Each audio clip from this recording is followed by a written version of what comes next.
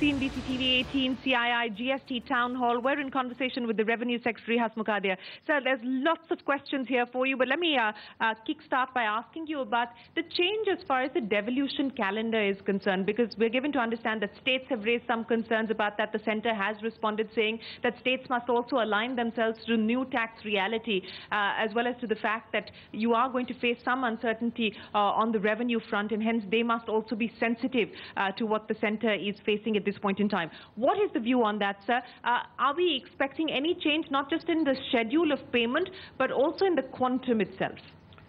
Well, actually, devolution of uh, uh, taxable, uh, um, devolution of tax money is not within my department. It is uh, with the Department of Expenditure or maybe the.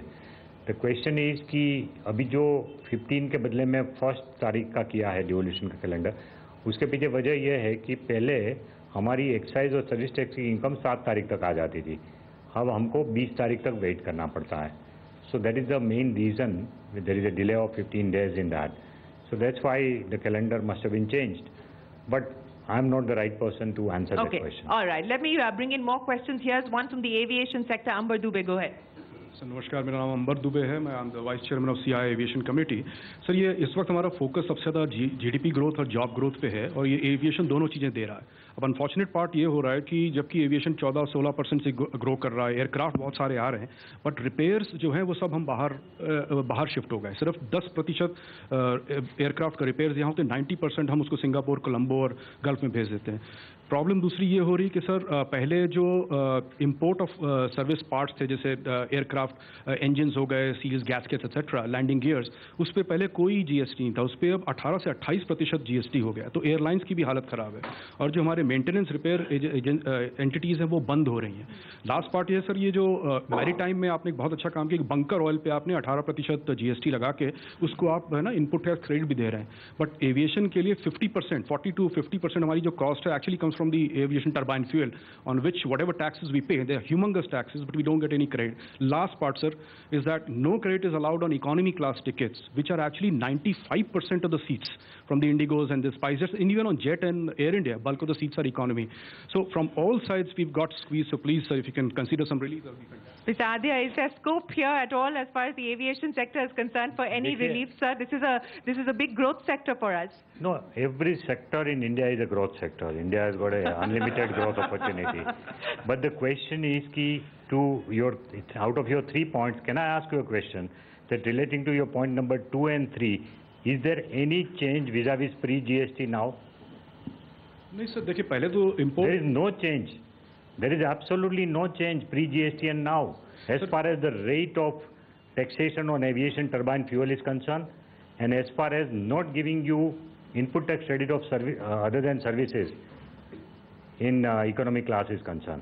Sir मैं एक live आपको actual fact, in evidence economy class, it has gone down from 6% to 5%. Sir 6 percent कर दीजिए sir छह से पाँच हो गया ना। बढ़ा दीजिए और हमें से- पहले आपको मिल रहा था क्या इनपुट टैक्स क्रेडिट नहीं मैं उसका एक लाइव एग्जांपल नहीं मिल रहा था नहीं सर मैं आपको एविडेंस दे रहा हूँ सर। महाराष्ट्र में महाराष्ट्र देखिए हमारी is no change vis-a-vis pre-GST and now, both in aviation turbine fuel or in your service तीस सेकंड दे दी तो मैं प्रमाण दे देता हूँ आपको सर। महाराष्ट्र में इतना बॉम्बे में हमारा जो एमआरओ इंडस्ट्री है जूहू और छत्रपति शिवाजी एयरपोर्ट पे वहाँ पर सर और, और नागपुर में भी जो बहुत बड़ा सेंटर बन रहा है फ़र्स्ट पॉइंट है।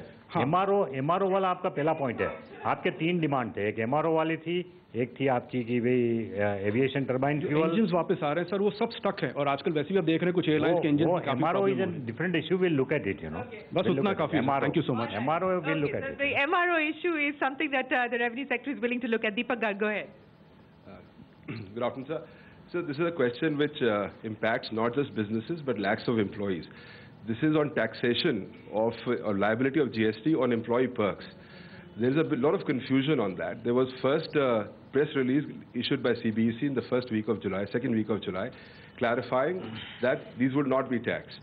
Uh, and then subsequently on 28th of August in FAQs, uh, they, they, they've said that the fringe benefits which are given to the employees, even if without consideration, uh, would be liable to GST. Now, this is an area which has now changed uh, from service tax regime to the GST regime because employer-employee relationship has been deemed to be a related party. So therefore, any supply by an employer to an employee becomes taxable even in the absence of consideration. So this issue impacts a large number of employees, sir, if we end up taxing the perquisites which are uh, uh, given by the, by the companies to the employees. So the request would be, sir, to give complete clarity on this issue after having thinking through. It impacts us as a business, it impacts me as an employee. so, Sir, what is that? What does that smile mean, sir? You're, you're smiling I- I through was that smiling question. Because there is a complete, complete clarity on this issue. There is no lack of clarity on this. We have clearly said that if it is a employer-employee relationship which is enshrined in the contract, we have no problem. But out of a blue, suppose the owner is very happy and says, "Okay, tomorrow is Diwali, all of you will get one lakh rupees each, you know. Now that's not a part of the contract. If in the original contract you had said, "Ki, yes, you will be eligible to get A, B, C, D, E, F, Z, then no problem, you get it. You're you know. right. Uh, this is what was I mean, including all the perks. All the perks are also not part of GST. Huh.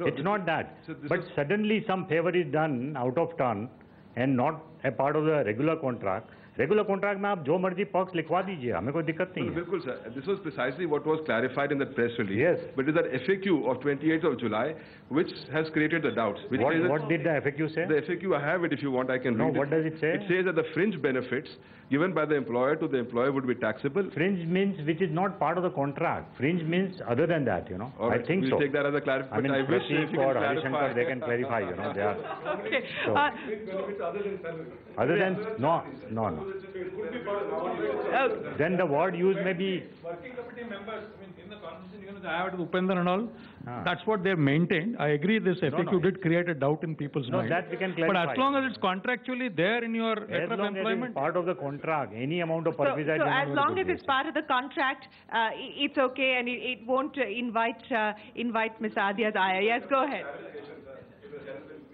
Sir, clarification.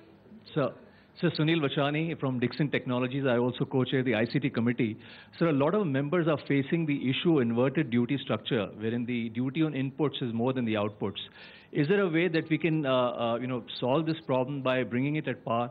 And in the interim, is there a, you know, time-bound uh, uh, mechanism for refund of the excess GST uh, that the members are accumulating? Well, uh, ideally, it should not happen that there is an inverted duty structure. But fortunately, we've given this option if there is any inverted duty structure, you can get the refund of uh, taxes paid on inputs. Um, if we do this exercise of uh, relooking at all the rates, in which one of the criteria could be the that on intermediate there should not be a rate of 28%. Now, this could be one criteria. So that should bring down, you know, if that is a rate, uh, that is the uh, criteria which is taken into account, that should bring down the duty inversion cases. But still in extreme cases, like for example, tractor, Yeah. where the tractor rate is 12%, the inputs are 28%. Right. Or fertilizer, for that matter, where the final output is 5%, while input chemicals may be at 18%. Now, these are the cases which are inevitable, you know, but... So, uh, so are, there uh, are there more cases where such anomalies of the inverted duty structure There would be are some. being reviewed, sir? Currently, There are two ways of dealing with it. One is ki just to expedite the refund, which we are trying to do, and we'll try and see. uh, I agree that so far that refund mechanism is not yet ready. But yes, as early as possible, we'll make it available. Our RFD1, the regular refund uh, form, will be Yeah. available on 20th of November, Okay. as per the present calendar. Where- And uh, after that, it should start flowing. But in the meantime, this exercise of relooking at all the rates Yeah. will also help. Very quickly, we're running out of time. Very quickly, your Sir, I'm representing from the leather industry. I'm Council for Leather Exports Vice Chairman. My name is P. R. Aqeel. Sir, I met you on the 19th September and also on the 6th September. 6th October, I have to really compliment and thank the government and for for releasing, uh, for giving a big relief that recently was announced on the 6th on the advanced license script and the also on the authorization system. So we're very thankful to you, sir, on that. As, uh, as you know, this, our also industry is MSME unit, and uh, most of the exporters have registered under the MSME unit, so that uh, on the leather goods and the garments, the leather garments, which is at the most highest uh, GST rate, which we also represented you, sir. If you can look into that, it will be great helpful because leather bags is very, very common today, used among women, and also the, you know, the leather goods, which is the the highest. The other product, we are, you know, we have also made representation. Thank you, sir. Well, uh, as he's already pointed out, that uh, that he's looking at a whole bunch of rates, Mr. Samani. Very quickly, sir, go ahead. Sir, uh, thank you for coming to uh, CII. A lot of questions that you've already touched upon, so I don't want to take that. But there's one particular question that I would like to ask you, is specifically to the, uh, the ceramic industry. We use RLNG, natural gas, and uh, we, we, we're now paying 15% on local when you're buying local, whereas the Which industry? Ceramic, Ceramic. Which So- state? uh, all the states were doing, there's, there's a central government's notification to bring it to, to all states to say that it has to become uh, revenue neutral. Most, five states have done it, but many states haven't, like Haryana hasn't. And we've gone to see, uh, seen them to say that six, up to 6% if you charge, it is revenue neutral. And this is really hurting the industry, sir. No, I would like to know because the general consensus in the council member was that we should not hit the manufacturing sector by high uh, VAT on LNG.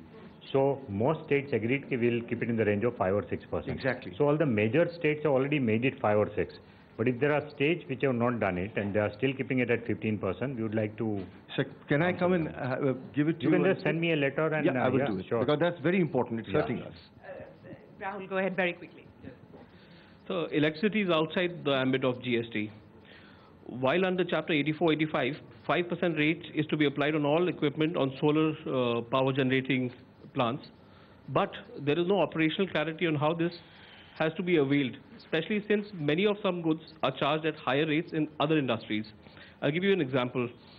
Uh, 18% for capital goods such as inverters and 28% for cables and batteries. So it's, it's similar to what Mr. Vachani was saying.